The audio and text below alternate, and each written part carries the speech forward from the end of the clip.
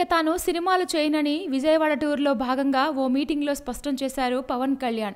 ఇటు సినిమాలు అటు పాలిటిక్స్ని ఒకేసారి హ్యాండిల్ చేయలేని పక్షంలో పవన్ ఈ నిర్ణయం తీసుకున్నట్లు తెలిపారు. చలోరే చలోరే చెల్ టూర్లో భాగంగా విజయవాడలోని ఫాతిమా మెడికల్ కాలేజ్ని సందర్శించిన పవన్ ఆ తర్వాత తన పార్టీ కార్యకర్తలతో అక్కడ ప్రభుత్వ ఉద్యోగులతో పాటు ఇంకొందరి సమక్షంలో ఓ మీటింగ్ నిర్వహించారు. అందులో భాగంగానే తాను సినిమాల నుంచి తప్పుకుంటున్నానని క్లారిటీ ఇచ్చారు. కాటమరాయుడు అజ్ఞాతవాసి సినిమాల షూటింగ్లో బిజీగా ఉన్నప్పుడు ప్రత్యర్థులు ఏ రేంజ్లో పవన్ మీద ఎగబడ్డారో అందరికీ తెలుసు. అవకాశం దొరికిన ప్రతిసారి పవన్ని ఏకిపారేశారు. ప్రశ్నిస్తానన్నోడు ఇప్పుడు సినిమా ముసుగేసుకున్నారేంటి అంటూ రివర్స్లో కౌంటర్ కూడా వేశారు. బాబు ప్యాకేజీలకి పవన్ అమ్ముడుపోయారంటూ అతనిపై విమర్శలు వెల్లువెత్తాయి. పవన్ సినిమాల్లో బిజీగా ఉండడం కారణంగా వీరి విమర్శలపై పెద్దగా స్పందించలేకపోయారు. ఇలాగే తాను సినిమాలు చేస్తే తన జనసేన పార్టీ బలహీనం అవుతుందని అందుకే పూర్తిస్థాయి రాజకీయాల్లోకి రావాలని నిర్ణయం తీసుకున్నారట పవన్ పవన్ నిర్ణయం ఫ్యాన్స్ని తీవ్రంగా బాధపెట్టినప్పటికీ ప్రజల కోసమే ఆ డెసిషన్ తీసుకోవడంతో గౌరవంతో కాలరెగరేస్తున్నారు